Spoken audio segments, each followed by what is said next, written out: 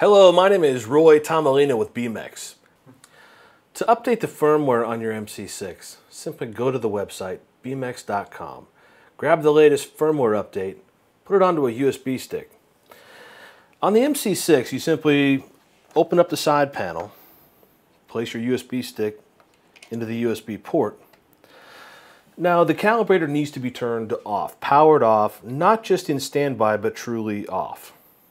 Next, we hold down the left and right arrow keys while holding the power button. That engages the firmware update utility. The calibrator will be updated in a few minutes. When the firmware update is complete, it will restart automatically. Now we can remove the USB memory stick.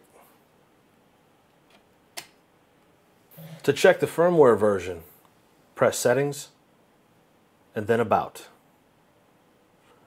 Right here. And that's how you update firmware on the MC6. If you'd like more information on the calibrator, check out our other videos. Thanks for watching.